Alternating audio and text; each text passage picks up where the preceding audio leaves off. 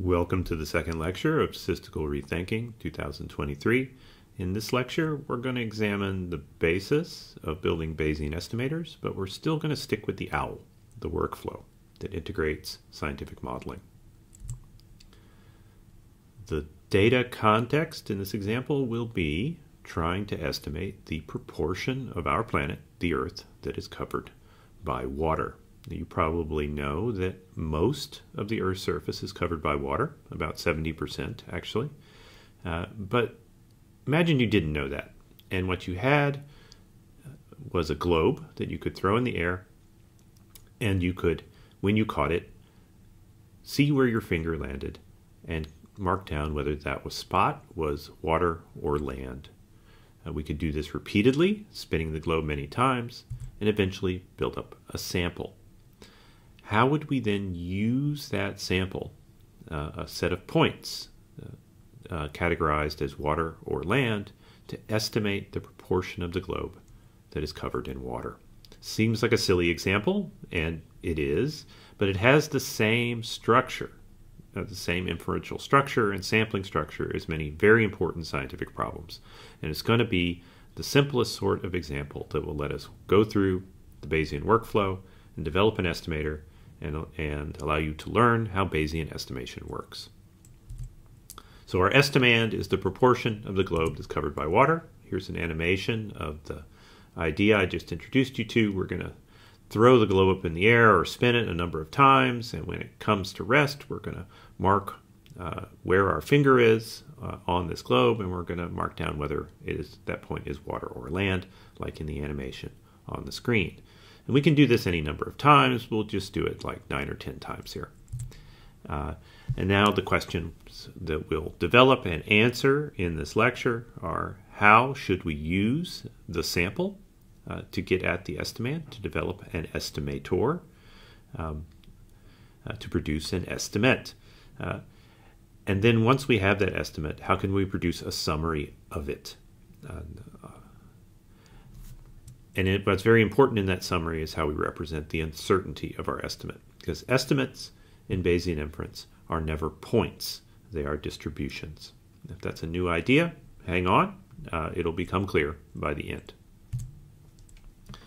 So, the workflow of this lecture, just like the workflow of your research, uh, is going to follow these five stylized steps. We're going to start by defining the generative model of the sample. This is a generative model of tossing the globe. Uh, we're going to, in that context, define a specific estimand. That estimand, I've already said, is the proportion of the globe covered by water. Uh, then, third, we're going to design an estimator, a statistical way to, of producing an estimate. And this is where we're going to spend most of the time today because we need to uh, bootstrap Bayesian inference uh, in the context of this example. And then fourth, we're going to test. Uh, we're going testing is very important because everybody makes mistakes. It's no problem if you do, but you want to get used to testing for them and fixing them. So at the fourth step, we're going to test our estimator using our generative model. Uh, if the estimator cannot work when we know the answer, then it's certainly not going to work when we don't know the answer. And then finally, I'm going to show you a little bit about how to summarize Bayesian estimates, uh, which contain basically nothing but uncertainty. Um, but nevertheless, that's the best kind of estimate you can get. Okay, let's build up a generative model of uh, sampling the globe.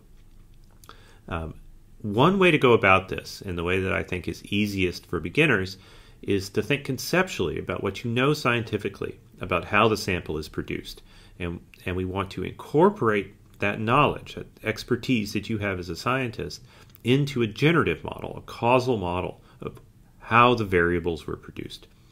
Um, so here in this example, uh, we have four variables, and variables can be data, things you can observe, or there can be things that you want to estimate and can't observe. And in this particular globe tossing context, there are four. There's P, the proportion of water. I'm just going to uh, use the lowercase letter p to represent it for proportion. This is colored in red because it's our estimand. We're paying special attention to this thing, the proportion of water on the globe. We can't measure this directly. It cannot be observed, at least not with human senses, uh, but we can measure it indirectly through the other variables. The other variables are the number of tosses n, uh, W, the number of water observations, and L, the number of land observations. And these variables are related to one another. And what we want to do now in producing a generative model is write down those relationships, the causal relationships among these variables. Don't think about statistics. Think scientifically about how the sample is produced. So let's start with uh, n. So n is something that's under your control as the experimenter. n is how many times you toss the globe or spin the globe or however you decide to randomize it. Uh, n influences uh, W and L because the more times you toss the globe, the larger the values of W and L can be, whatever the proportion of water on the Earth is. So we draw arrows from N to W and L, and these represent causal influences. And what you can think about this is if you were to intervene on N and change N, this would induce changes in W and L, at least on average. However, if you change W and L by, say, uh, uh, fabricating your data uh, or making a mistake in recording the data, it will have no influence on N, the number of times you toss the globe. So these arrows represent causal influences and they tell you the consequences of intervening on these variables. That is, an intervention on N would also be an intervention on W and L indirectly, but not reverse. So we say N influences W and L. Um, likewise, P, uh, the proportion of water on the globe, influences W and L. Uh, if there's more water, you're going to get uh, um, the, the, variable W will be larger, and if there's le uh, less water, the variable L will be larger. And so again, we have two arrows; they go in a particular direction because again, if you if you uh, fabricate W and L, or you just make mistakes and write it down wrong, uh, we'll deal with that later on. Um, that doesn't change the proportion of water on the globe. However, if you intervene on the proportion of water in the globe by, say, creating a new continent and sticking it in the middle of the Pacific Ocean, uh, that will change um, the expectations of W and L. Uh, so these arrows indicate influences, and those influences then allow us to predict the consequences of interventions on particular variables. To make this generative, say what we have on the screen here is a DAG, a directed acyclic graph, and, and DAGs are not generative in and of themselves, but they're the first step because they're a way for you to sketch your scientific knowledge and make it explicitly causal, and then that makes it much easier to develop a generative model, which will then make it easier for us to develop an estimator. Uh, so what the DAG shows are functional relationships, but it does not say what those functions are. And so one way you can read what this DAG on the screen says is that the variables w and l are some function f of the variables p and n. Right? Uh, w and l depend upon both p and n. And if you change either p or n, uh, you will change on average w and l. So now we want to write that function. Uh, what is this function f? And now you uh, in some cases, your scientific imagination is the limit. But in this case, uh, our scientific knowledge determines what f is very rigidly. And so I want to build this up organically, what this is, to show you that you already know what the generative function here must be, just because you understand the basics of sampling. And we're going to build this up in the context of developing the estimator and developing Bayesian inference and then you will see what this function is, what it basically has to be, just by drawing out what you already know about how the sampling process works. And then we're going to use that to develop Bayesian inference. And I want to show you how simple Bayesian inference really is and how it produces an estimate.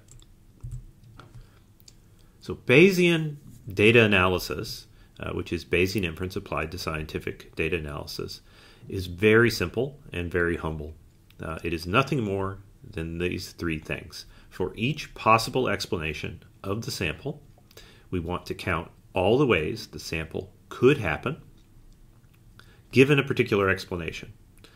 Uh, those explanations with more ways to produce the sample are more plausible. And what the Bayesian estimate will be is an accounting of the relative plausibilities of all the possible explanations of the sample. Seems weird, uh, but that's all there is, and it's the best you can possibly do. Uh, so let's draw this out and see how it works. So we're going to keep tossing the globe.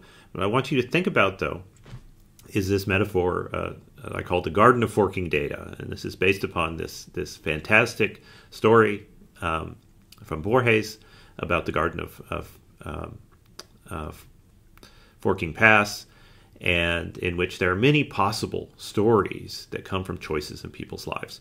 And likewise, in a data set, there are many possible data sets that can arise depending upon what happens in the process of sampling. And some of the things that happen in the process of sampling are natural processes, and some of them are things that we choose as scientists. But all of them affect the sample that arises. And in order to, to do data analysis, we need to think about all the things that could have happened and then look at the number of ways, the relative plausibility of the thing that actually happened. Uh, so let's draw this out. We're going to draw the garden of forking data as applied to the globe tossing problem. So rewriting uh, the essence of Bayesian inference for the globe for each possible proportion of water on the globe. Those are the possible explanations of the sample, the thing we're trying to estimate.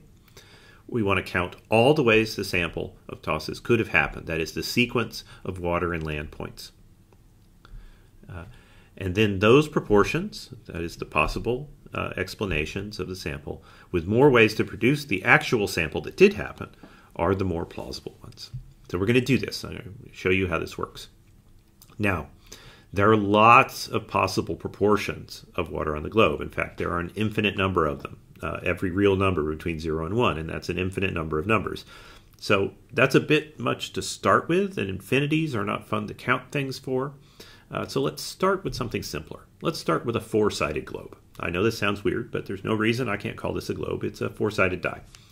Uh, and we're going to imagine one particular simple possibility that the proportion of this globe that is covered by water is 25%, which means that if there are four sides to the globe, one side is covered with water, as in this uh, excellent diagram I have drawn.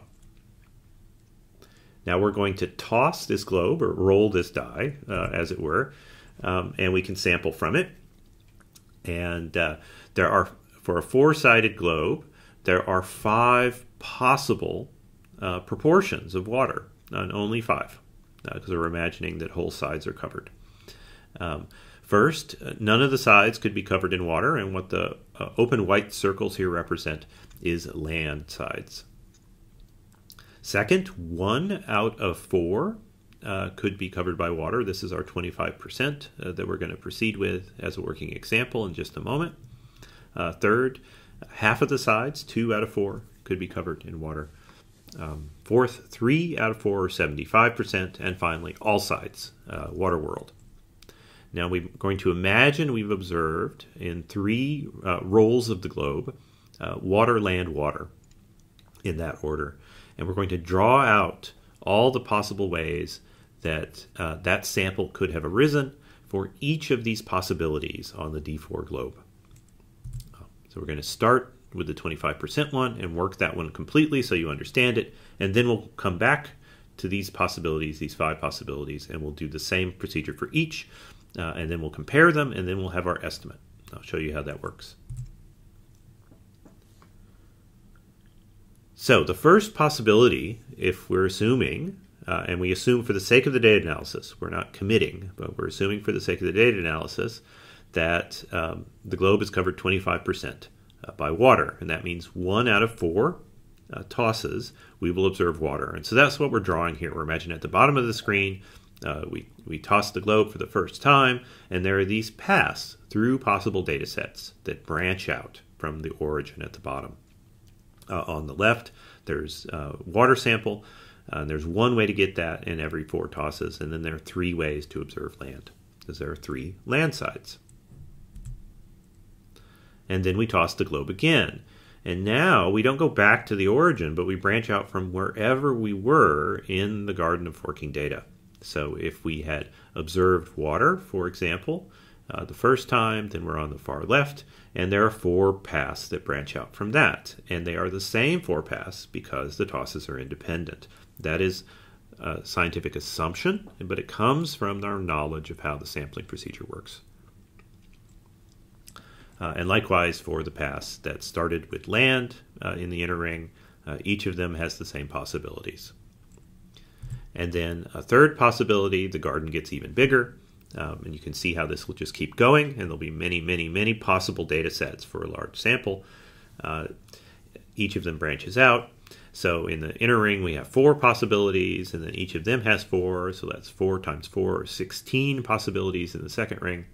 And then we multiply by four again, and we get, uh, I think it's 64 uh, possibilities total. And that's a lot of possible data sets that could arise. Uh, and the question is, which data set did we actually see, though?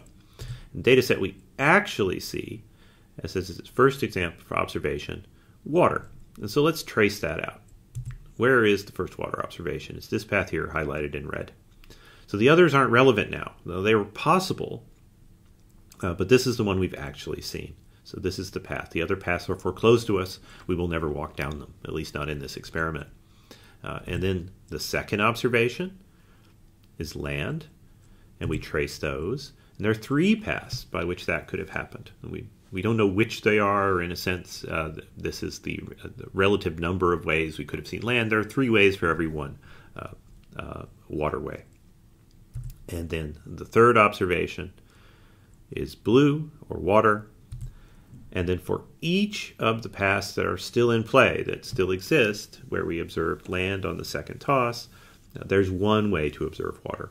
And so in the end, there are three ways out of all of these 64 ways to observe this sample, uh, assuming that the globe is covered 25% by water. I'll say that again. Uh, there are three ways to see this particular sample of water, land, water, assuming that the globe is covered 25% by water. Now, the, the goal here is to repeat this counting procedure. All we're doing is counting the paths that are consistent with the sample. We're going to do it for all the other possibilities. Uh, so let's do that now. Uh, so we let's go back to our table and we can write in that for each of the possible globes in the column on the left, we want to know how many ways it could produce the sample of water, land, water. And what we've done so far is for the second one, 25% water, that there are th- we've we've computed that there are three ways. Now let's do it for the others. Two of these are really easy. We can just do them on the screen. Let's think about the top one, um, all land. Uh, there are zero ways to produce this. Uh, I'll let you think about that for a second. Why? Well, uh, the reason there are zero ways um, for this particular assumption of all land to produce the sample is because the sample contains water. Uh, so there's absolutely no way um, for this uh, particular uh, possibility uh, to, uh, to be for this sample to be produced by this particular possibility. The same is true on the other extreme. At the bottom of the table, if the world were completely covered in water, then we would see no land, but we've seen land. And so there are zero ways uh, to produce this one. So these two are eliminated. They're, they're simply completely inconsistent with the sample, uh, and they're out of the running. But there are two more that we still need to do calculations for. So let's do those now. The third one is 50% water on the globe. Let's draw the garden again. The garden looks different now because there are two blue paths uh, for every two land pass, for every two white pass. And we can draw the full guard, and then we can trace out the pass again. The first one is blue, and then that gives us two pass in play in the inner ring. And then in the middle ring, there are two um, uh, two land for each of the blue pass still in play. So now we're up to four pass that are in play in the middle ring. And then in the outer ring, again, we observe water. And there are two ways to observe water for each of the uh, surviving pass in the middle ring. And so we end up with 1, 2, 3, 4, 5, 6, 7, 8 uh, surviving pass in the outer ring, eight ways out of 64 to observe the sample, given the assumption that um, the globe is covered 50% by water. Let's do that again now for the, for the last possibility 75% covered in water. Uh, we draw the garden again. This time there are three blue for every one white draw the three rings, trace out the possibilities. So three pass in play, only one way to observe land for each of those, and then three ways to observe blue for each of the surviving pass in the middle ring. So we end up with one, two, three, four, five, six, seven, eight, nine ways to observe the sample, given the assumption that the globe is covered 75% in water. And so we can summarize all this um, uh, glamorous science that we're doing here. Uh, five possibilities on our four sided globe. And uh, we have counted up the relative number of ways that um, the sampling process, as we understand it, it's, it's uh, uh, generatively could produce uh, the sample we have observed, which is one water, one land, one water. And there are three ways uh, for 25% to produce this sample, eight ways um, for 50% to produce it, and nine ways for 75% uh, to produce it. And now, that, these ways, the counts are obviously arbitrary, and we could multiply them by any constant.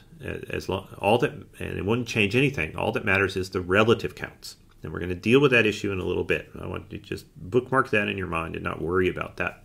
Uh, but it's the relative sizes of these counts that matters, and the relative differences right now are quite small. But that's because the sample is small, and so there's not a lot of evidence about which one uh, is bigger than the other. But that's a desirable feature of an estimator is that it doesn't it isn't overconfident with small samples. And this is how Bayesian inference works. What you have just done is produce a Bayesian analysis. Uh, Bayesian analysis doesn't usually use raw counts. It uses probabilities, but this is exactly the same calculus used in Bayesian updating. Uh, we're going to reveal that as we march forward here. So, the I call the unglamorous basis of applied probability is that things that can happen more ways are more plausible. And when we have a data set and we have a model of what produced that data set, we want variations of that model that are more plausible uh, to come to the fore. And that's what we do with Bayesian inference. So we have uh, different possible explanations of the data. These are the possibilities in the table at the bottom of the slide. They are the different proportions of water on the globe. This is our estimand. We're trying to see which of these are more plausible given the data. Um, and as I've just explained, what we do is we just count up all the ways, according to our generative model, that um, uh, the sample could arise, conditional on each of these possibilities. And so uh, you don't have to draw the garden every time. It turns out it's just simple uh, multiplication. So in this particular case, you just think about how many ways um, each possibility could produce each data point. So let's start with the 0% one. There are zero ways to observe water on the first toss. There are four ways to observe land on the second toss, and there are zero ways to produce water on the final toss. So that zero times four times zero is zero ways uh, for uh, a globe covered completely in land to produce this sample. Same for the 25%. There's one way uh, for this this uh, proportion, one way out of four for this proportion to produce water on the first toss, three ways out of four for it to produce land on the second toss, and then again one way for it to produce water um, on the last toss. For one times three times one equals three possible paths. Remember, we trace that through the garden visually, which is a nice way to be introduced to it. But when your computer does these calculations routinely for you, it's just doing this multiplication and that's the way it, it, it, works. And that's all the garden does is visually um, justify, uh, in a way, how this multiplication works. Uh, for 50%, it's two ways to observe water times two ways to observe the land times two ways to observe the water for eight ways um, for 50% to produce the sample. And then the last two, for 75%, it's three ways for blue times one for white times three for blue for nine. And then for 100%, it's four ways for water, zero ways for land, four ways for water for zero. If there's one zero, it's all zero, because if ever a generative hypothesis uh, produces an impossible observation, then it's impossible. So let's imagine um, updating our estimate. Imagine we draw, um, uh, sorry, this is old text, draw from the bag. I mean, toss the globe. Uh, and we observe water. Same possibilities, and this is the knowledge we have so far. Uh, we have counted up that there are 0, 3, 8, 9, 0 ways to produce each of these uh, possibilities uh, in order. And we're going to now try to update these counts given one additional one. And the beauty of this now is since we're just multiplying across the, the relative number of ways that each possibility could produce each particular observation, we just need to multiply our existing counts by the number of ways that each of these possibilities could produce water. So I'll do this one step at a time. So uh, there are zero ways for the first possibility to produce a water observation, zero out of four. There's one way out of four for the 25% to do it, two for the 50%, three for 75%, and four for 100%. And now we just multiply these numbers, 0, 1, 2, 3, 4, by the uh, counts respectively of each of the possibilities. So it's 0 times 0 equals 0 still uh, for the first one, unsurprising. It's 3 times 1, it's still 3 for 25%. Uh, it's 8 times 2 is 16 for 50%. It's 9 times 3 or 27 for 75%. And it's 0 times 4 is still 0, unfortunately, uh, for 100%. So this is how we do the updating. And this is actually Bayesian updating, which you might have heard of, uh, but it's no problem if you haven't. And now the relative counts are separating a bit, and each time we sample from the globe one more time, we can update these counts with each new data point. So eventually the counts get really big. So uh, the sample we're going to work with for a lot of the examples here is this nine toss sequence of water, land, water, water, water, land, water, land, water. I show with the, the points uh, labeling the columns on this, uh, on this table, the possibilities at the left.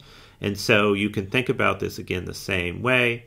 Um, uh, what is the what I'm entering in this table is the total number of ways to um, for each possibility to produce the sample contingent on the sample up to that point. So the way to read this first line uh, with all these zeros in it is for the first water uh, toss, there are in total zero ways for this possibility of all land to produce it.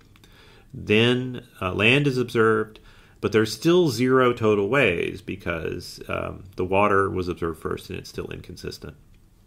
So we, we have zero for uh, every observation, even though we're updating, it's still always zero for this one. I know not the not the best example. The next one will make more sense. Uh, so we can summarize this calculation, though, the way this calculation is done for a data set with, if you count them, there are six water in this sample and there are three land. Now count them in the in the columns at the top of the table. Um, all we need to do is take the number of ways this possibility could produce water, uh, and and uh, we want to multiply that by itself, the number of times we've seen water. So in this case, it's zero, so it's zero to the sixth, which is still zero, of course. Uh, and we multiply that by the number of ways that this possibility could produce land. Uh, the num and we do that the number of times we have observed land. So there are four ways out of four to observe land with this possibility. Uh, and so it's 4 to the third, or just 4 times 4 times 4. Um, this is still 0, as you know. The next one, this one will hopefully uh, uh, bring it home what's going on here. We're just abbreviating the counting. Uh, there's one way out of four to observe land in this. So on the first toss on the left there, there's a 1 because there's one way that this possibility uh, could produce um, the observation of water. And then on the next toss, we see land. There are three ways for that, so it's 1 times 3, so we get 3. Now we observe land again, so it's times 1, so it's still 3, it's still 3, it's still 3. Then another land comes around, so we multiply by 3 now, we get a 9. Uh, water, so times 1, so it's still 9. And then a land, so it's times 3, it's 27. And then we end with a water, and it's times 1, it's still 27. But this number 27 is just 1 to the sixth. 1 because that's the relative number of ways for this possibility to produce water. Uh, and there were six waters times 3 to the third. 3 because uh, 3 out of 4 is the relative number of ways for this possibility to produce land, and there were 3 lands. So 1 to the sixth times 3 to the third, and that's 27. For 50%, uh, every uh, observation, water or land, has two ways to produce it, so this is just a series of multiplying twos together. So we have 2 in the first one, and then we multiply that by 2, we get 4. We multiply that by 2, we get 8. We multiply that by 2, we get 16, 32, 64, 128, 256, 512. Programmers will recognize this sequence, right? The powers of 2. It, it kind of rules your world. Um, and this number 512 is, is 2 to the 6th times 2 to the 3rd, or 2 to the ninth.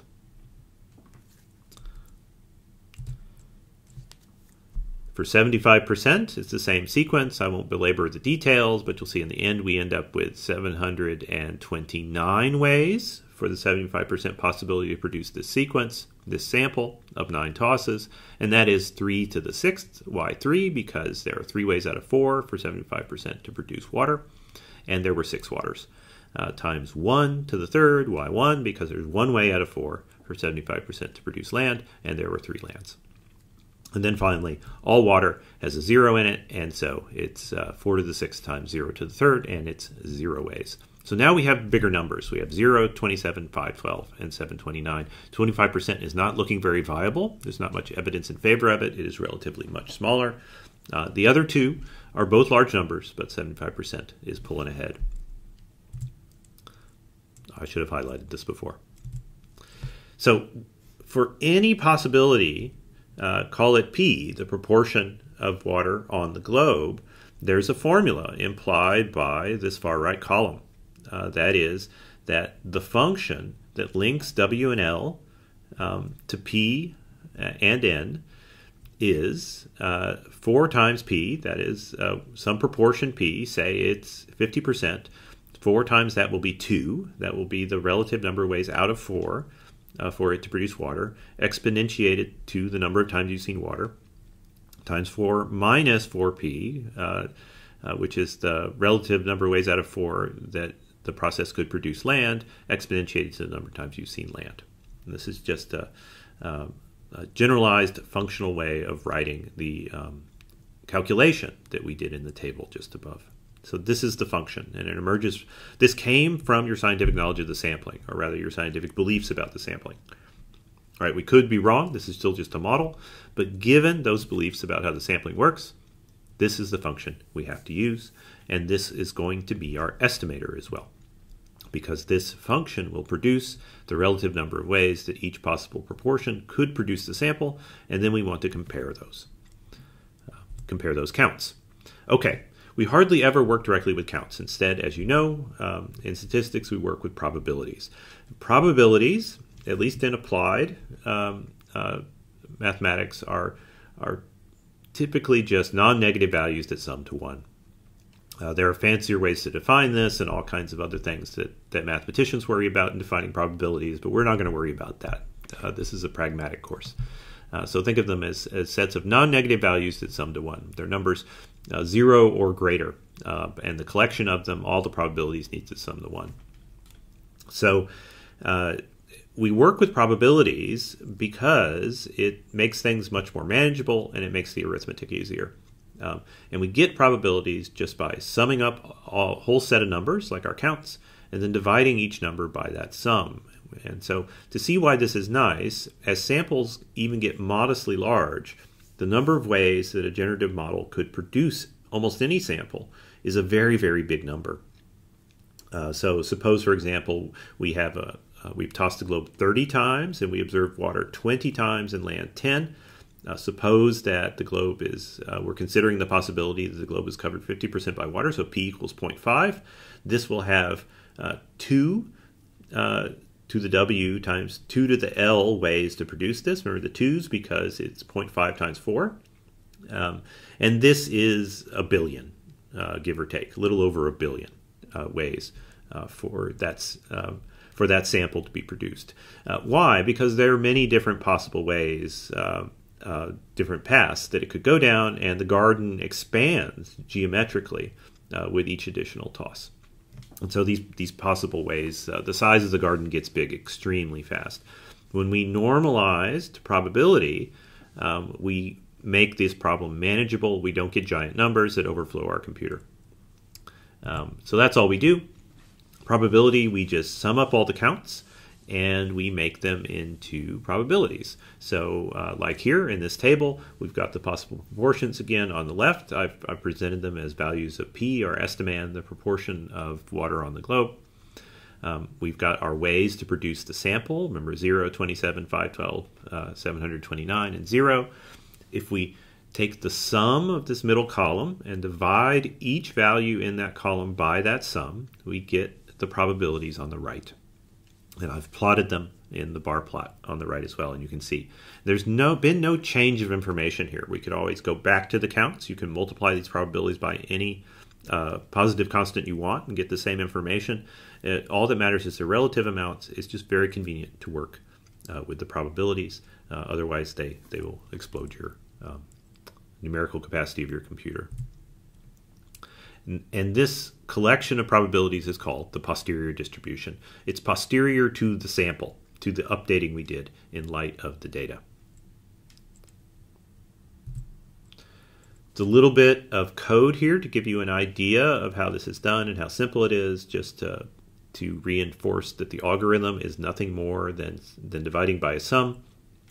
Um, uh, in this little block of code, uh, all we do is I define the sample first, and then uh, I count up how many W's and L's there are in the sample.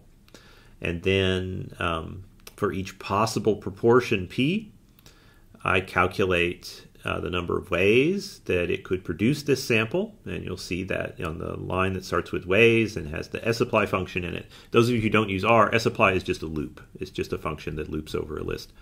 Uh, and then we have the function that counts the number of ways there. We're exponentiating by W and L. And then we've got in ways a list of those counts. And to count the probabilities, we just divide every element of that list, that vector, by the sum of that vector. Uh, and then at the bottom with cbind, we produce a table, uh, and it's the table that was on the previous slide. Uh, and if you plot the probabilities in the right-hand column of this table, you get the bar plot on the right. Okay, we have designed an estimator, a Bayesian estimator, uh, and conditional on the generative model, this estimator is optimal. Uh, you cannot do better than this uh, uh, if your model is correct. And the model here doesn't mean the particular value of p, it means the generative hypothesis about how the garden is drawn given a particular value of p. Uh, so now we want to test. I want to spend a little bit of time talking about testing, and then we're going to take a break, uh, and then we'll spend the rest of the lecture talking about summary and analysis. But I want to talk about testing first because this is a topic that often gets dropped from courses like this. But I, I think that's, um, I've come to believe over the years that that's a mistake uh, to leave this out because beginners need to know how to work. It's not enough to understand the concepts and the goals. You need to be shown a procedure uh, and a procedure that is hopefully going to reduce error and give you some confidence. So, um, we always want to test before uh, we est or estimate. Uh, and what, what, I'm showing on this slide is a rubber ducky, and uh, programmers will know this. There's this thing called um, rubber ducky debugging, where you put a rubber ducky on your desk, desk, and you don't when you don't understand why your code isn't working, you try to explain your code to the rubber ducky. Now, obviously, the rubber ducky never answers. At least, uh, if he does answer, then you should get some help. But uh, uh, just explaining your code out loud, as if someone was listening, often allows you to find problems in it. So, so I would say the rubber ducky is extremely powerful and fun. It is the world's best programmer. Uh, and we want to worry about this in scientific data analysis as well, because scientific data analysis is, in the vast majority of fields, uh, a kind of amateur um, software development. Uh, there is scripting, and we want to document our code, and we need to worry about errors and have a, a reliable workflow that does some quality assurance. Uh, so we've coded a generative simulation, uh, we've coded an estimator, and now we'd like to test our estimator with our generative simulation. And I want to give you the simplest example uh, of how this goes about. And this is the kind of thing you want to do with every data analysis project you do is you develop these, this code and there could be mistakes in either part in either one or two and so you test them together you, and you try to find bugs so here's our generative simulation. I'm going to write it as a function on the bottom of this slide. This sim underscore globe sim simulates a globe toss. Uh, and th this is just the code version of this function that I've written on the screen, that W and L or some function of P and N. You'll see there's the sim globe is a function and it takes the arguments P and N. And uh, in R, you give these functions default values by putting them in the function header. And then I just use the sample command. And all sample does is you give it a list of possibilities, and it draws those possibilities uh, according to uh, certain specified probabilities. So the in the sample line here, we've got the possible observations that could arise, water and land. There's no other possible observation but water and land from tossing the globe by assumption. Uh, we define uh, the size as the number of tosses. And then there's a vector of probabilities, which is the frequency with which uh, each of these possible observations rises uh, uh, in a large sample. And so we can run this um, function and we can simulate our experiment. Uh, and you can do this as many times as you like, which is one of the nice things about writing a, a function like this, is you can do lots of design this way uh, as well. So, for example, you can just replicate this. Uh, we can draw 10. Uh, we can we can simulate the experiment 10 times uh, for any particular uh, proportion of water you like and any particular number of tosses you like. This is a way to explore the design of an experiment uh, as well as um, debug the code. So, uh, in the chapter, in the text, um, I spent some time talking a bit, bit more about how to do this testing. Uh, one of the first things you want to do when you're testing your code is test it on extreme settings where your intuition tells you what the right answer is. So, for example, for SimGlobe, if we make the globe completely covered in water, that means set p equal 1, then we should only observe water. If you observe any land with p equals 1, then there's a bug in your code. Yeah, and and uh, the opposite for p equals 0, you should only observe land. Um, and then uh, another thing you can do is uh, for large samples, uh, like say 10,000 here, n equals 24, um, the proportion of water in the sample should be very close to p uh, if the simulation is working. Uh, so that's another thing you can test. Um, and now there's a way programmatically to do a sweep across all the values of p, and I show you an example of how to do that in the text. Here I'm just showing you for p equals 0.5. Okay, so the motto here is if you test nothing, then you miss everything. So you have to do some testing. And all code has bugs. Uh, you just want the bugs not to influence the results. And so you need to test the ability of your code to get the right results. And so the simulation needs to honestly represent the generative model you intend. And that's the first thing you test. And then you write an estimator. And we're going to test that too. And we're going to test it using the simulation function. So we know what the simulation function needs to do. It's just this function that W and L, uh, uh, the number of ways to produce W and L is equal to this expression here, 4p to the W times 4 minus 4p to the L. So we just write a function that does that. I've already showed you this code. Now I've just wrapped it in a function called compute posterior. And it accepts a sample, which is a, a list of W's and L's, uh, and a set of possibilities um, here this uh, set for the four-sided globe, 0, um, 25%, 50%, 75%, and 100%.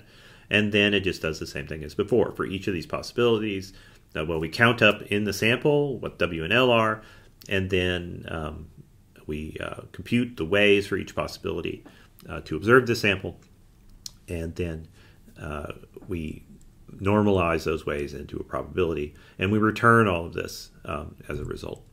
So here's the function header, uh, where the sample, it accepts the sample and the number of possibilities are defined. So you can use this function to consider other possibilities. We'll do that in a moment. Uh, count up uh, uh how many water and land are in the actual sample you pass in. Remember, this function needs to work for any um, sample that you want to simulate. And then the number of ways that each possibility um, can produce this sample and then convert it to the posterior distribution. This is why this is called post. So uh, what you can do is you can just um, wrap SimGlobe in the compute posterior function, and these functions work together, and you can simulate the experiment many, many times. And I encourage you to do this so that you see some of the variation if you're just starting out with data analysis, you want to get a sense of the variation, the sampling variation across experiments and how that changes with sample size and, and the assumptions about the generative process. So this little tiny bit of code we've just done here is extremely useful. Uh, lets you test the estimator where the answer is known. So you can verify here that compute posterior is doing the right thing, that as the sample size increases, it converges to the right answer, that when the sample size is small, it, it correctly characterizes the uncertainty, and so on. Um, you can explore different sampling designs from this. So, for example, uh, if you wanted a certain, you wanted the answer uh, uh, within a certain precision. You wanted a certain amount of confidence about the range of plausible values for the proportion of water on the Earth. Then you could decide from the simulation how many times you needed to toss the globe. Uh, and then uh, every time you do an exercise like this with simulating from a generative model and using um, a programmed estimator to study it, study its properties, you develop more intuition for how sampling and estimation work, and that is intuition that you will carry with you from project to project and will grow throughout your career. Okay, that was a lot. Uh, uh, it really was both a lot of work and conceptually. So I think we should take a break here and I encourage you to really take a break, uh, uh, walk around, have a cup of coffee, and then before you continue on to the rest of this lecture, review what we've already done. This is one of the reasons I record the lectures. Find the parts that you're having trouble with, watch those parts again, and then come back here to the pause slide and continue. We've got a lot of more cool things to do.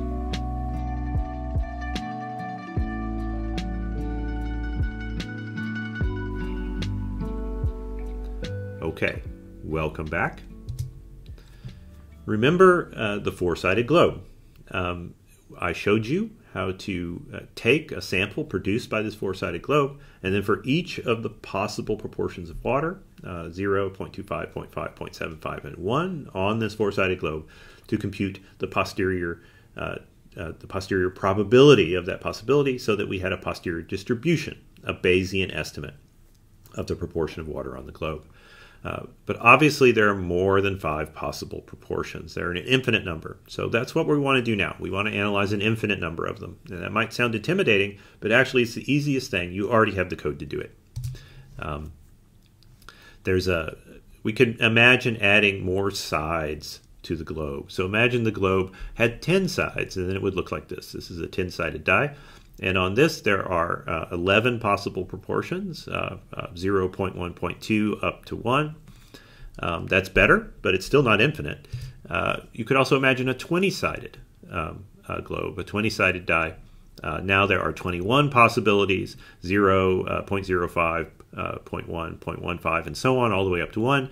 the 21's a lot, and they're spaced by 5% each time. That's pretty good, good enough for government work uh, but it's still not infinite. We would like infinite. Um, but this is the path to infinity. We just uh, need to use every possible proportion. How do we do that? Well, well, let's let's build up some intuition first about what's happening as we add more possibilities. So for the the four-sided globe, there are five possibilities, and this is what our posterior distribution looks like. I showed you this before the break. When we have 11 possibilities on the 10-sided globe, um, uh, you can see that there's a hill forming here. Uh, we get more possibilities, we get more resolution with those possibilities. Uh, the general contour of the answer hasn't changed, but there's a lot, it's a lot finer now. We can see what's going on. And then for 21 possibilities, um, uh, even smoother still. With an infinite number, you can imagine, you can start to see that there's a shape that's going to, a curve that will form that will have the basic shape of the bar chart on the right. Uh, and we'd like to know what that function looks like. What does that curve look like, and how do we derive it, given that we can't have an infinitely sided uh, die? Um, well, uh, oh, I should say before I move on, you'll notice that uh, the bars get shorter as we move from left to right, and that's because as there are more possibilities, there's less probability in each bar. I'll say that again. The bars get shorter as we move from left to right, because the total probability in each bar plot is always 1, because that's what makes it a posterior distribution.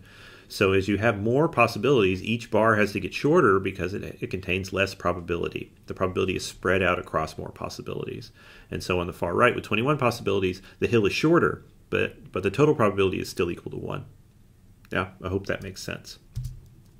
Um, okay, well, of course, a globe is an infinitely sided polyhedron right? Everybody knows that. No, not everybody knows that. It's, it's a weird geometric fact. But as you take a polyhedron, uh, a die, and you increase the number of sides, uh, you you achieve a globe when the number of sides is infinite. Uh, but of course, you get a, a, fantastic approximation of that before you get to infinity.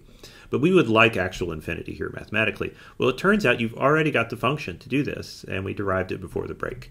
Um, you just need to take uh, the proportion of water on the globe and exponentiate it to the number of times you've seen water times uh, 1 minus the uh, proportion of water on the globe, that is the proportion of land, and exponentiate it by the number of times you need land. And this product is the relative number of ways that any value p, any of an infinite number of value, uh, uh possible values of p from 0 to 1, could produce any particular sample with W and L, water and land observations, respectively.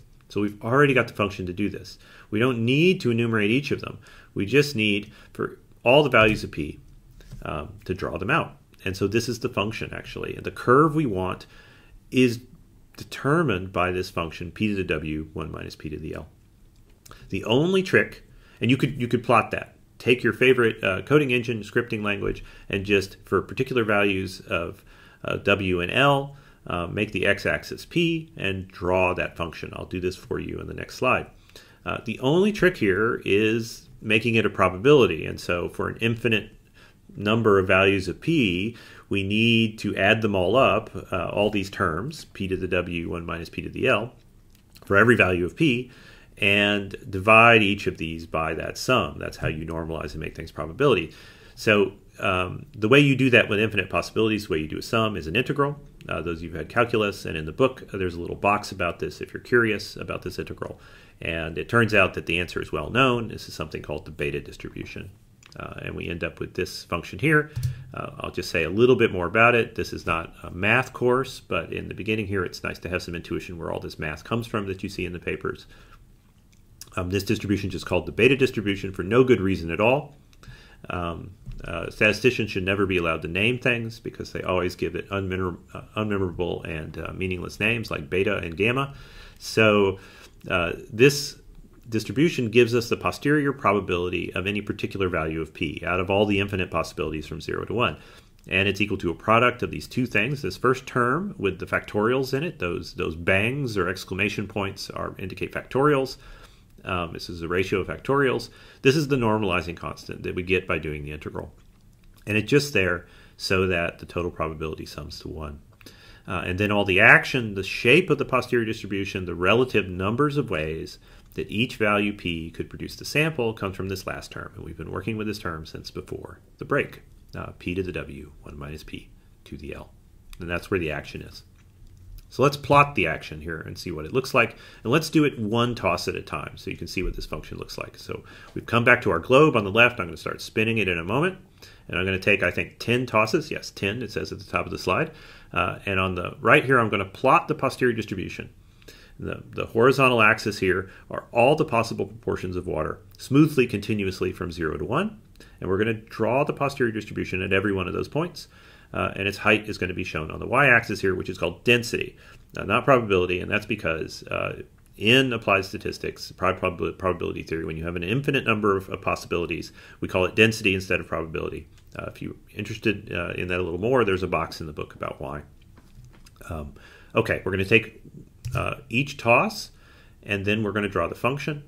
And this is going to go fast, but I'll talk about it more. And you'll see what's happening is with each one, the curve moves because we end up multiplying by another um, uh, value as we go. But this is exactly the same process that we did before. It's just smooth now because every value of p is considered, but we get the same hill uh, that we had seen before. And the dashed line here is the value from um, of the posterior distribution just before we got the new observation. And then the solid blue or red curve is the recently updated version uh, from it again. I'm going to back up. I'm going to run that again. Um, and then I'm going to have a still slide with the same concept on it.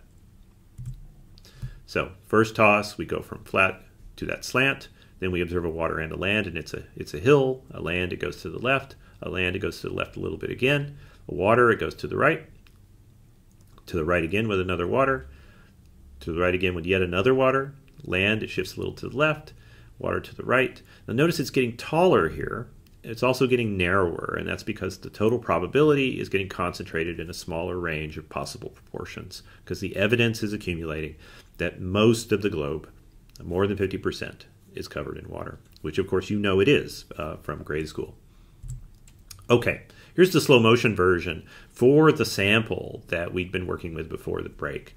So in the upper left, uh, we start out, we observe one water. The dashed black line there shows, uh, in essence, the posterior distribution before we see any data. This is usually called a prior distribution. We're going to talk much more about this in the next lecture next week. Uh, but for now, we start with a prior distribution where there's uh, every possible proportion is considered equally plausible before any data arrives. Uh, we don't have to do that. And again, next week we won't. Uh, but when we see the first data, then this function, p to the w, 1 minus p to the l, gives us this line because it's just equal to p, right? If you've just plotted um, uh, the, the horizontal axis from 0 to 1, this is the line you get. And that's all that's going on because there's just been p. The function is p. p to the w, which is p to the 1, 1 minus p to the 0 is equal to p, and that's why you get that um, straight line sloping up to the right. And then in the top middle, we observe a land, and now this function, the red curve, uh, is p times 1 minus p, and that gives you this shape. You should go and try plotting this uh, in R or whatever software you're using. Plot the function p times 1 minus p, for p is the x-axis variable, and you'll get this shape here, and this is the beta distribution. And then a w, and now it's p squared times 1 minus p, and that gives you the blue shape in the upper right. Uh, and then another w, and this is, this is p to the third times 1 minus p, and you get that shape. Uh, bottom middle, p to the fourth times 1 minus p. Uh, bottom right, p to the fourth times 1 minus p squared. And so it moves a little bit to the left. The last three samples in our in our nine toss sample, another W, it goes up a little bit again, um, another land, and then finally the last water. And so at the end here, this curve, the shape of this curve, is only given by uh, uh, p to the sixth, because there are six waters, times 1 minus p to the third because there are three lands. And that's where the shape comes from. Yeah, and then everything else, all the other, the, the fancy factorial term in the beta distribution is just normalizing. But the shape doesn't depend upon that at all. Okay, just a few lessons to draw out about this is if this is your first encounter with Bayesian inference, uh, one of the problems in learning Bayesian updating, which again is dead simple, it's just counting the number of ways the sample could have arisen and then normalizing. Um, one of the obstacles for beginners in learning it is that you're confused by intuitions from non Bayesian statistics. You need to leave that stuff behind. I'm not saying forever in your life. I, am not against you practicing non Bayesian statistics, although I don't see why you would. Uh, it's just that you don't want to, to let it confuse you because there are lots of things about Bayesian inference which are different, even though in, uh, there are lots of things that are the same as well. And one of the things is there's no minimum sample size in Bayesian inference. Notice We've been updating each data point at a time. You get an estimate every time you toss the globe, and that estimate gets updated. The minimum sample size for Bayesian inference is one. Now, that minimum sample of one, like I show you on the screen here, imagine we've sampled only one land, is not very informative. But that's part of the power of this, is that it isn't overconfident. It's accurately representing the relative confidence we can assign, uh, or plausibility we should assign, to each of the possible proportions, and that's all it's doing. Uh, but there's no sense in which there's a minimum sample size. This curve here, the, the red line, is a logical implication of the generative model, uh, and it's correct. Uh, you, uh, it, you may have heard that there are lots of non-Bayesian estimators where they only become correct as the sample size increases. That is not true of Bayesian estimates. Uh, the shape of the posterior distribution embodies all the information uh, that the sample has about the generative process, about the proportion, in this case, the proportion of water on the globe. Uh, there's sample size is not some extra number you need to carry with you or talk about. The, the posterior distribution embodies the sample size and the exact structure of the sample completely. And that's why when we observe more data, we don't know, need to go back to the original data set. We can just take the posterior distribution and update it uh, directly by multiplying by the, by the number of ways the new data uh, could produce uh, the new obs- um, each possibility could produce the new observation. And finally, uh, there are no point estimates in Bayesian inference. The estimate is the posterior distribution, the whole distribution, and we, when we work with it, we're going to work with the whole distribution every time. So you may be tempted, and, and it's fine for just the sake of communication, to talk to use summary points of distribution. So say for this posterior, posterior distribution, on the slide, just as an example. There's the mode, which is the point, uh, the value, of the proportion of water where the posterior probability is maximized, and that's the mode uh, shown here uh, by the blue line. There's also the mean, uh, which is the the average value. You take each possible proportion of water and multiply it by its posterior probability, and then you sum all those products together and you get the mean, and that's the red line in this particular case, uh, which is the sort of central value, the central probability value, as it were. Neither of these points is special uh, as, as a point estimate. Uh, when we do calculations, we draw predictions from this, or we produce summaries, we want to use the whole distribution. Uh, there's no point that is sufficient. And of course, you can see why is because there's a lot of probability on other points. In fact, almost all the probability is on other points. Uh, the distribution is the estimate, and we should always use the entire distribution. And in this course, when we compute things like causal effects or interventions or predictions, we will use the entire distribution, never a point from the distribution. I'll say that again. When we compute things from the posterior distribution, we use the entire distribution, never a point from the distribution. And I'll show you how to do that in a moment. Last thing here in, in the mottos is um, there's no true interval in Bayesian inference. In fact, intervals are not important in Bayesian inference. They are merely summaries of the shape of the distribution when you can't give someone the whole distribution or plot the thing. Now there are infinite number of intervals you could draw. So for example, here's a 50% central percentile uh, uh, interval that I've drawn on the slide. What this means is this is an interval that captures 50% of the posterior probability and leaves 25% to the left and 25% to the right. So it's the central 50% um, uh, posterior probability. It represents the 50% most plausible values in some uh, under some definition. Uh, but obviously, 50% is quite arbitrary. You could draw others. We could do 89%, which is, is my favorite. I use it a lot in the book. Uh, or you could do 99%, which captains most of it. You could do 100%, and then it's the whole distribution. Um, and the interval, it uh, when we draw it, is just the lower and upper bounds. You've seen these intervals in lots of uh, lots of publications. Um, there's nothing special about any of these intervals because the endpoints of the intervals are not special. Nothing happens at the end of the interval because the interval is arbitrary. Yeah, I'll say that again. Nothing special happens at the end of the interval because the end of the interval is in an arbitrary location. We use intervals just as a quick summary of the shape of the distribution. If the interval is wide uh, for a particular um, uh, size of a particular probability mass of the interval, then the posterior distribution um, is spread out. As it gets narrower, the posterior distribution becomes more concentrated. Uh, but it's still the shape of the whole distribution that matters because nothing special happens at the boundary.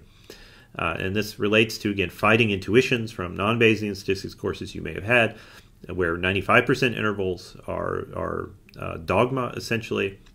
Uh, 95% is a superstition. There's nothing special about 95%, not even in non Bayesian statistics. It's completely arbitrary.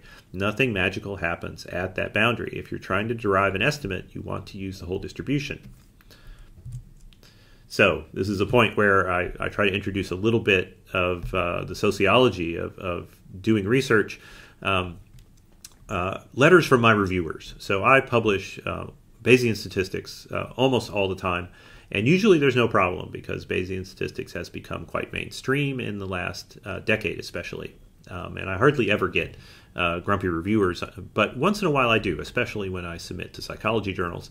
And one particular case, a couple years ago, I had this reviewer who uh, over multiple rounds was really just obsessed with the idea of, of my reporting 95% intervals. And here's a quote uh, from their review The author uses these cute 89% intervals. I agree they are cute, they're very cute. That's one reason to use them. Uh, but we need to see the 95% intervals so that we can tell whether any of the effects are robust.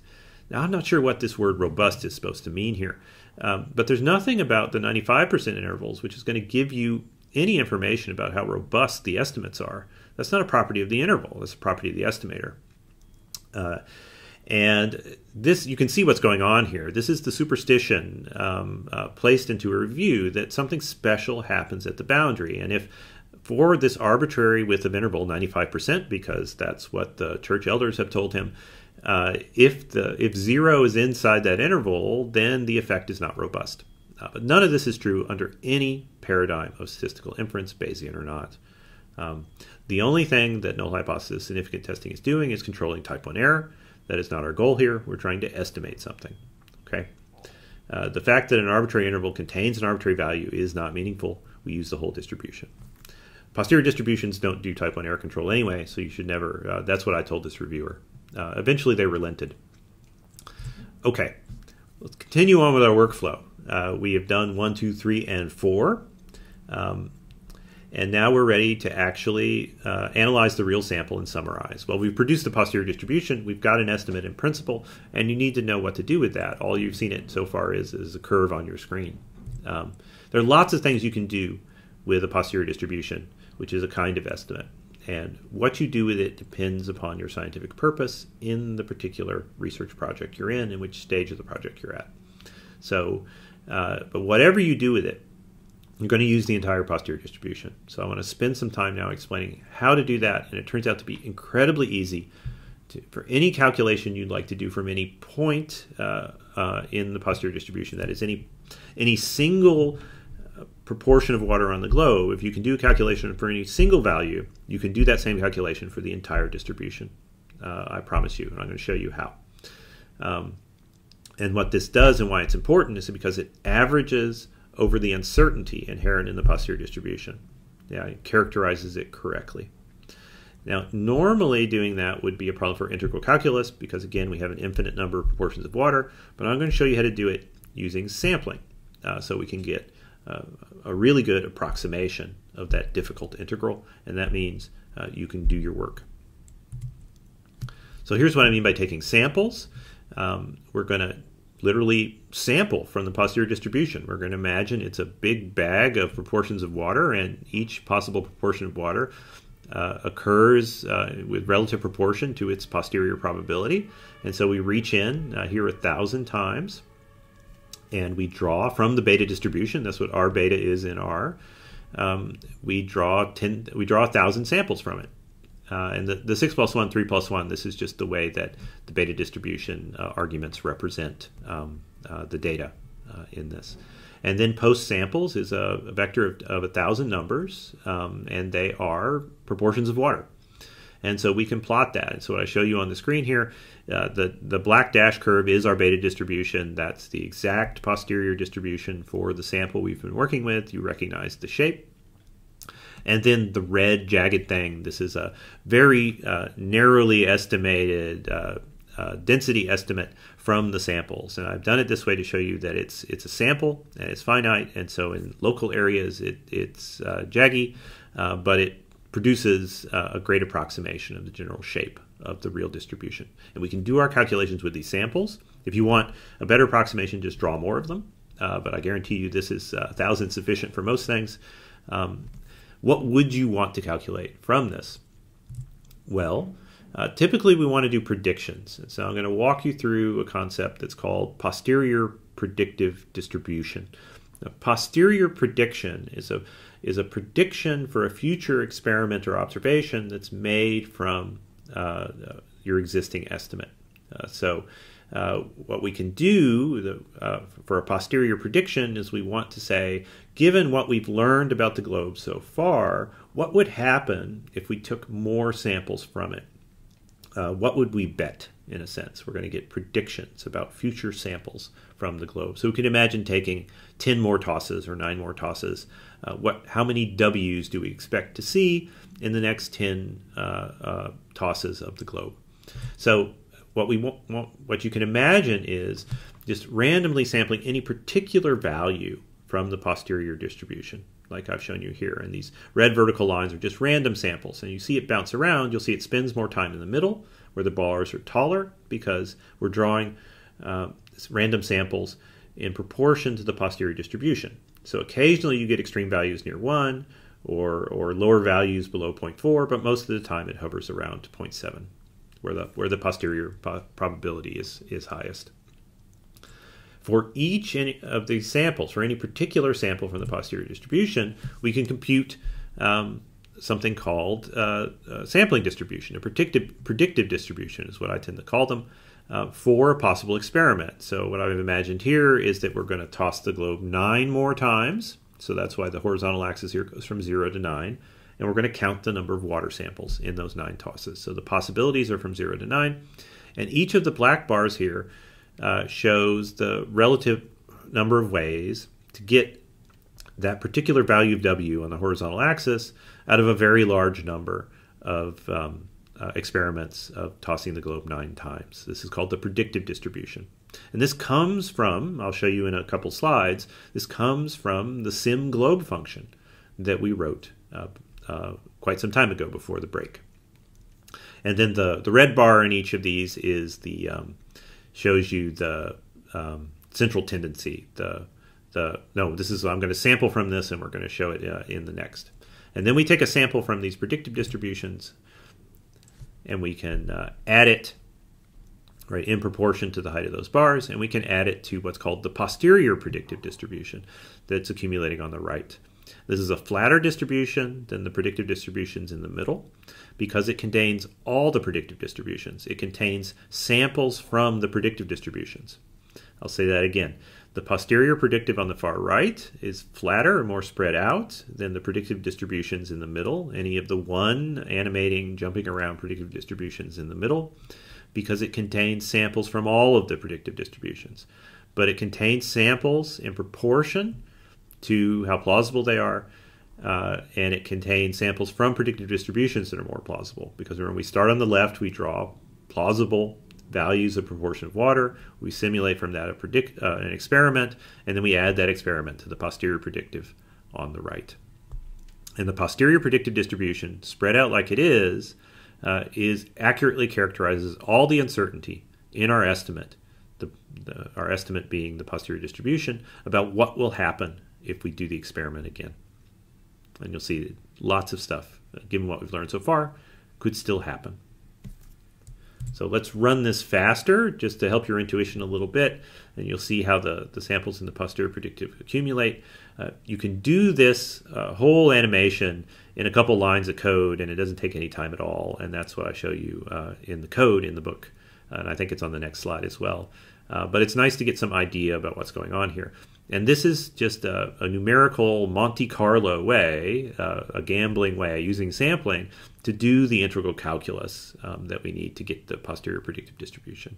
What you do if you did the integral calculus is you take an integral over the posterior distribution on the left, um, and that would give you the proper weightings for the, the, the samples in the middle for the posterior predictive on the right. But this sampling process is much more intuitive, and as these models get more complicated, um, this will save your bacon uh, because you can always use this approach to calculate anything you like from an arbitrarily complicated model. Okay, so here's the code. I said it would be pretty simple.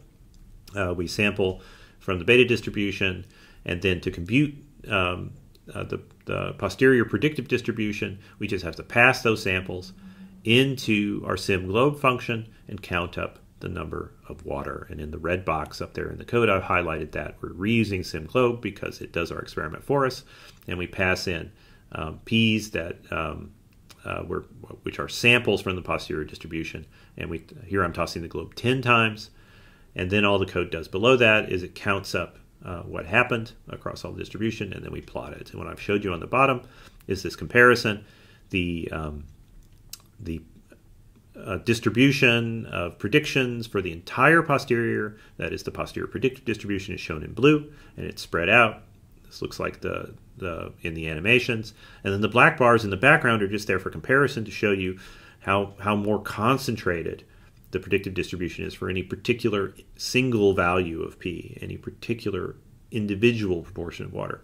And then the blue is more spread out because it, it considers more possibilities. It considers all the values of P. Okay, sampling is great, and this whole course is going to use sampling and no integral calculus at all. I may occasionally mention it just to remind you that you are doing integral calculus, but you're tricking your computer into doing it for you, and that's really the best thing.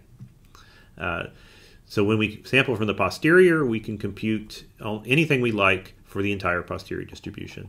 Um, and uh, as soon as we start using Markov chain Monte Carlo or MCMC, algorithms to fit more complicated models. And most of the time, when we do, um, we fit complicated models. Uh, um, that's what we do because it makes them uncomplicated.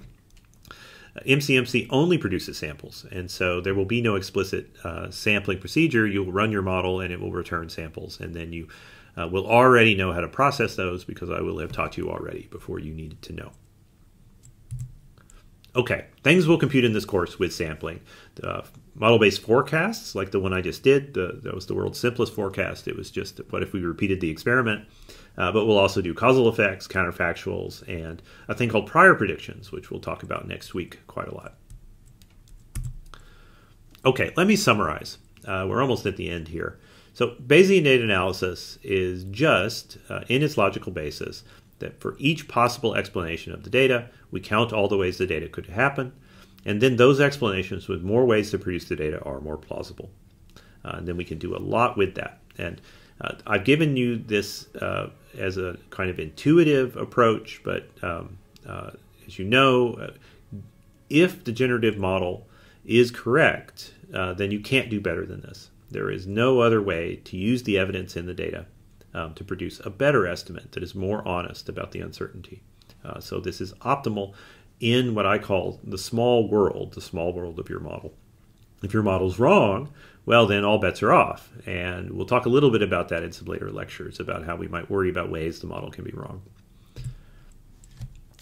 Okay, now I call this the, the Bayesian modesty stance. Uh, Bayesian inference gives you no guarantees except that it's logical. That is, it honestly carries out the assumptions you put into it. Um, and it does the best possible job uh, that it possibly can, taking those assumptions seriously. And this doesn't tell us what really happens in the world, but it helps us tremendously to figure out what happens in the world uh, because it lets us work with logical implications of assumptions and then compare those with data uh, and do a theory development loop through that action. Uh, so this is a quantitative asset that activates our qualitative knowledge as scientists. Uh, it lets the subjective and objective work together. Bayesian inference is completely objective, but the inputs into it, like in all statistical procedures, Bayesian or not, are subjective. Uh, and that's good because subjectivity is expertise. Uh, now we revise our beliefs uh, when new things happen, and then we change our subjective beliefs, and then we activate the objective procedure again, and we see what the implications are of those changes uh, in our subjective beliefs. And this is a powerful way to do inference. And I say any framework that is giving you more than this is hiding some assumptions uh, that is letting it claim those more things. And so you could always make those assumptions explicit in the Bayesian framework and do the same thing as that other framework. Okay, thanks for your attention. I know this has been quite a lot, but this conceptual foundation here in the first week is going to let us do a lot of scientific modeling in the nine weeks to come. Uh, next week, we're going to start with linear models and more explicit causal inference problems, and I hope you join me for that.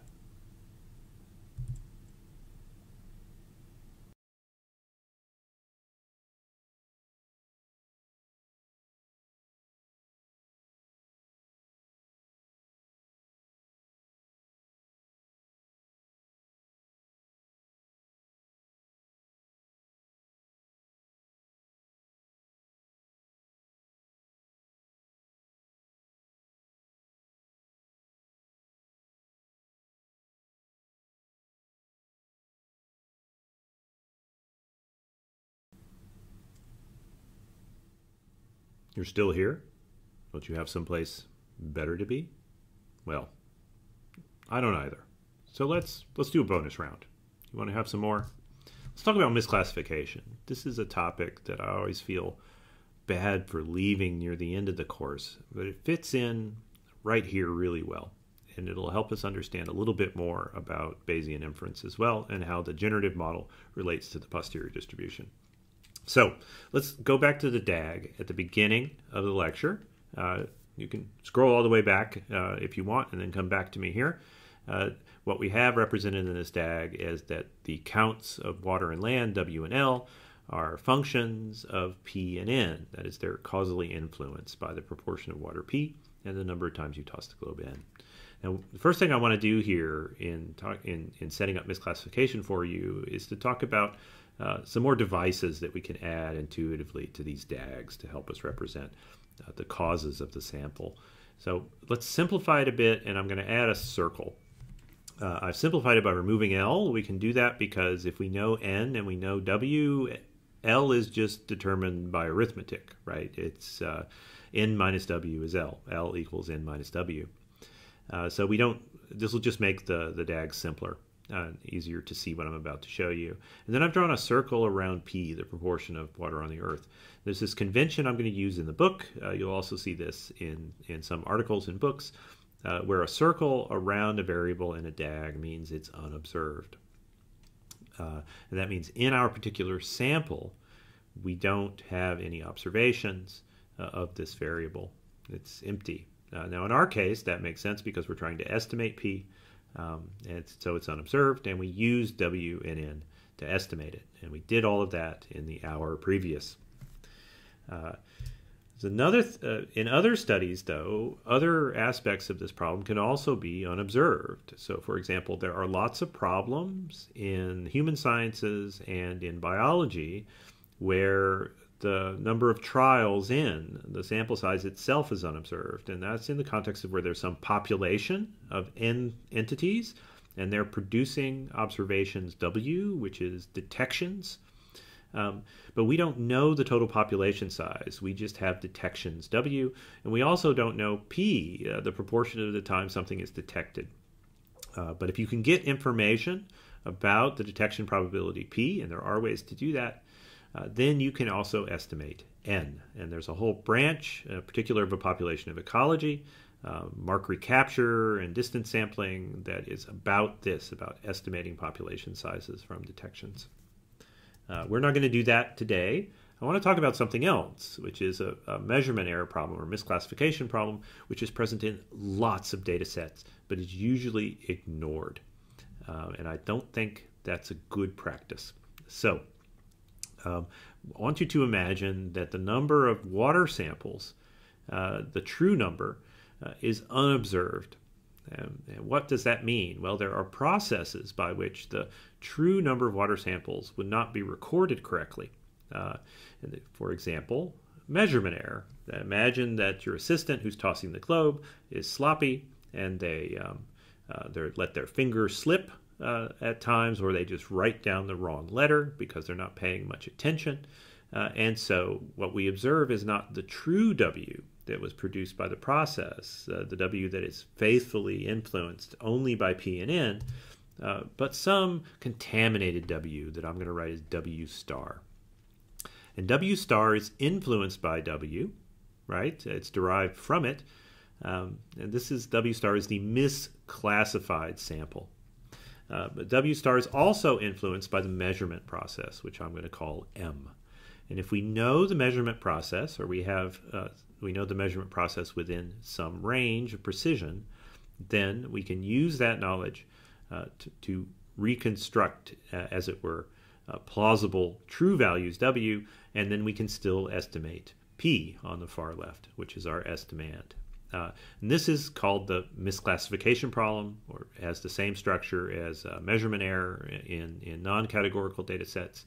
Uh, and this is a very nice thing to be able to draw into DAGs because remember the DAG should represent everything you believe about how the sample is caused. And there'll be aspects of this which are aspects of the natural process, the, the globe, and there'll be aspects of it which are aspects of the research design um, and how entities in your research respond to that design.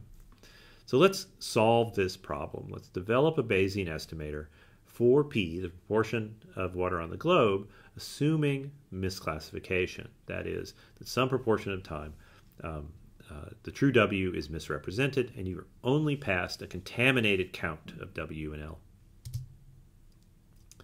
So we're going to obey the workflow, and I'm not going to be uh, very detailed with it because this is the bonus round, and I want to go quickly here. Uh, but the first thing we do in the workflow is write a generative model as a simulation. And so now we have SimGlobe 2.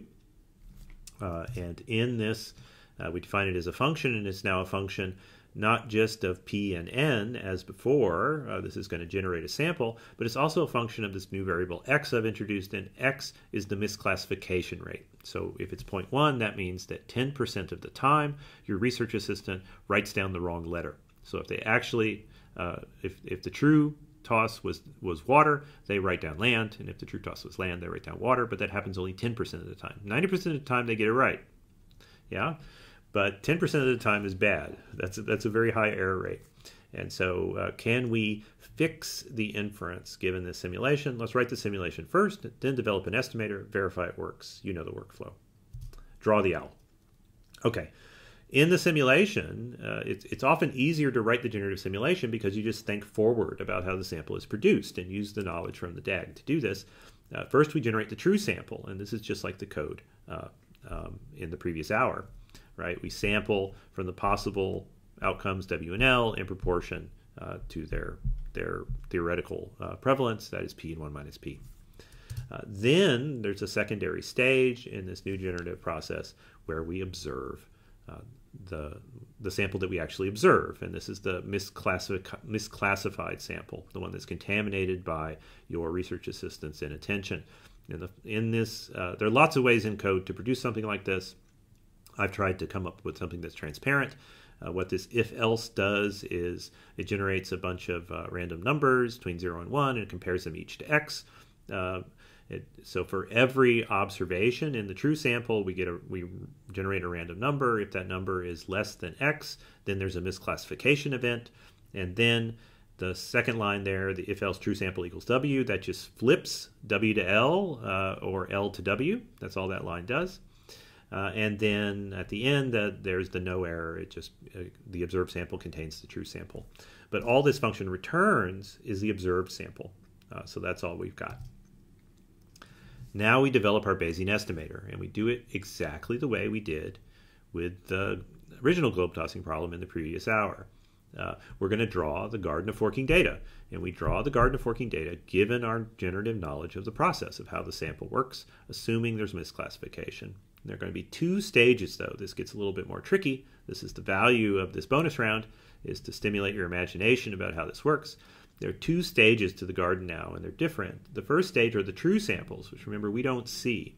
But they need to be in the garden because we're imagining counterfactual events that could have happened in the generation of the sample.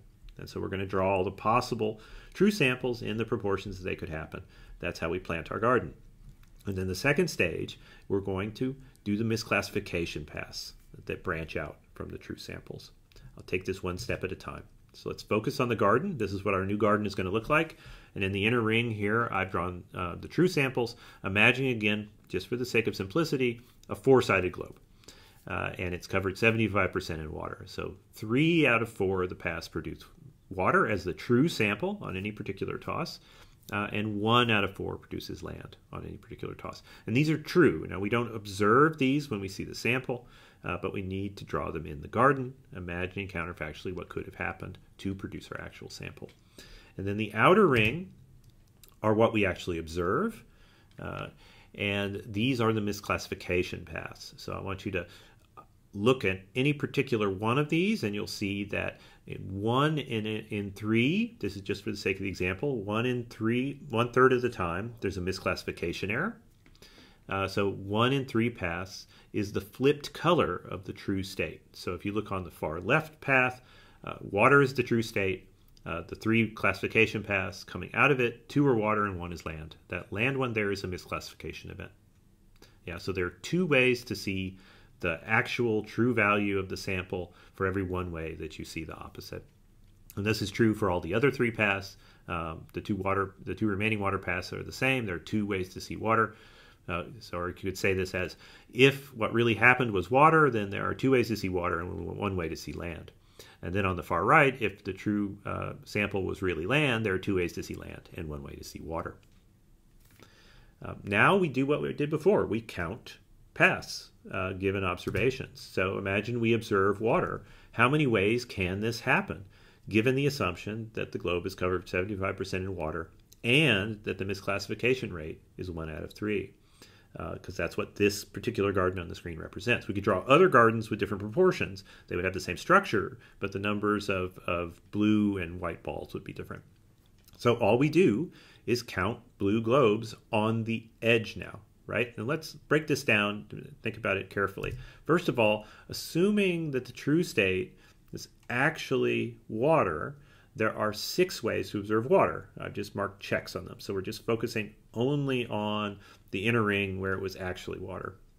Uh, and then there are going to be six uh, blue uh, events uh, on the edge there. So uh, if the true sample is water, there are six ways to observe water. But that's not the only way to observe water.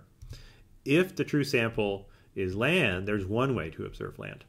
And so there are seven ways total to observe water on this. And you can count it. You see that there are seven um, blue um, orbs on the edge on, of this uh, garden.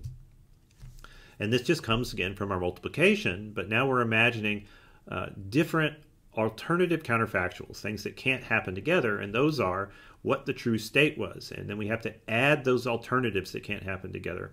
Uh, so the rule is things that happen together in probability theory are multiplied. So that's like the 3 times 2, three ways to, to have a blue sample. And then for each of those, there are two ways uh, for it to avoid um, a misclassification error, for six ways to observe blue if the true state is blue, or if the true state had been land, now we have to set all those paths aside because they can't happen in that alternative state. And when you say or, you add, uh, as I am at the top of this slide, uh, 1 times 1 because there's one way to observe land out of four tosses. Uh, and then there's only one way if land had, had been sampled uh, for us to observe water. So it's 1 times 1. This is a total of seven ways to observe water, which you can just count up on the edge. Um, you can i spend a little bit more time on this in the chapter in chapter two of the third edition draft um, and you can write this down as functions uh, using the same logic that we did uh, for the original globe tossing posterior now the probability of water conditional on some proportion p and some misclassification rate x is equal to p times 1 minus x plus 1 minus p to the x and the structure of that is exactly the same as the structure of the count on the previous slide the p times 1 minus x P is the number of ways in the inner ring, the number of ways for the true state water to arise. That's the three, uh, looking at the diagram in the, in the upper right here. And the 1 minus x is the 2 out of 3. That is the correct classification rate. Yeah. And then or, that's where the plus is, 1 minus p, that means land happened. That's the number of ways for land to happen, times x, which is it's a misclassification. So the two terms are, the first term, p1 minus x is um, water happened and it was reported correctly, or land happened and it was misreported. And then analogously for land, the probability of land conditional on, on P and X is 1 minus P, the probability of land, times 1 minus X, the probability it was classified correctly, or plus probability of water times X, the probability it was misreported.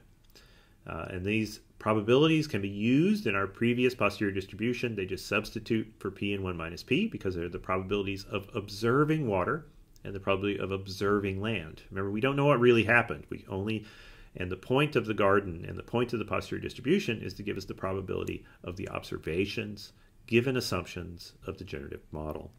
And so we end up with this ugly looking expression at the bottom, but the structure of it is actually quite simple. So let me spend a little bit of time on it. This is our posterior distribution for the misclassification problem. Um, it has the same structure as a beta distribution. Uh, the stuff in brackets is just the probability of each water. This used to be p in the beta distribution, but now it's this more complicated function involving p and x. Uh, but it's the probability of observing water. Yeah, it's the probability of each water observation. It's not the probability of water and then and the other one is the probability of each land observation. Yeah, and it's more complicated. But otherwise, the structure of this is exactly like the beta distribution. For each of these, we just count them, count up how many waters there are, and so the probability of each water exponentiated by W times the probability of each land exponentiated by L. And then the Z thing on the bottom is our normalizing constant, and it's just an ugly integral. Uh, it can be solved, and there's a box in the chapter where I show you its, its exact value if you're interested, and I use it to draw a plot. Oh yeah, some unpleasant normalizing constant. And this is what we get. So the these are posterior distributions. The horizontal axis is the proportion of water, and the vertical is the posterior probability. And the black curve is the beta distribution curve we had um, in the main part of the lecture. Uh, this is the thing that ignores misclassification. You can give it a misclassified sample, it doesn't know that, and it just treats every observation as if it were true because it believes it, because those are the assumptions that were built into the golem. Uh, this is the naive golem that does not believe in misclassification, and it gives you the black curve. Uh, but this is overconfident if in reality there was misclassification. And so in red, we have our, misclassif- our, our golem that is aware of misclassification. And this is the misclassification posterior, the function that was on the previous slide. And you notice it's more spread out. It's more spread out because it's honest. It honestly communicates the uncertainty that is induced by misclassification. But it also moves the center. You notice it's not just more spread out, but the point of highest posterior probability has moved to the right. And because this is what the misclassification does, is it tends to push the sample towards the middle. yeah, the higher the misclassification rate is. So you can take those functions, the simulation for misclassification, and the programmed estimator. I'll show you these in the chapter, and you can play with them, and you can develop intuitions about this as well. You should test it, and you should confirm, for example, that as the sample size increases, the misclassification posterior gets the estimate right. That is, it can actually infer the true proportion of water on the globe, even though there's misclassification.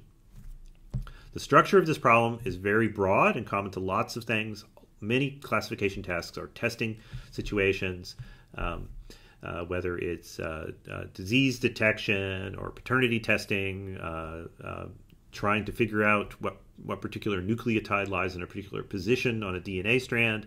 All those things are classification problems, and this basic math applies in those cases as well. Okay, more broadly, this is an example of measurement error. Measurement error is common in all scientific fields, uh, and we should model it. We should not ignore it. It's better to model it than to ignore it. Um, and there are other things and, that are related to measurement error that we can also put in the DAGs and we can add them to our generative models and we can build better estimators. So missing data, um, almost every project I've been part of has had missing values. Uh, we want to model those as well. We'll do that later in the course. Uh, compliance, uh, we have people in our studies in the human sciences and the people don't always take their medicine, for example. And so you can ignore that problem or you can try to model it uh, inclusion. People do survey research. I do survey research myself sometimes. Uh, who's included in the sample? We want to model the processes that lead to inclusion. And the, this modeling these things leads to good news as well. It doesn't. It's not that it just uh, honestly reports the uncertainty. It does do that, and that's very important. But there's also good news, as it turns out, samples do not need to be representative of a population in order to provide good estimates of the population. Now, sometimes they're unrepresentative in ways that you can't recover from, but sometimes they're unrepresentative ways that you can recover from. And the way you figure out which situation you're in is by modeling the source of the non representativeness. Uh, but sometimes you'll hear that in order to estimate something from a population, you must have a random representative sample. That is false. It is simply false. What you must do is model the sampling process and how the sample arises how it causally differs from the population, and then you can develop an estimator that can possibly reweight the sample to get a good estimate of the population. And that's actually how almost all modern survey work works because you can't get representative samples from human populations these days by telephone.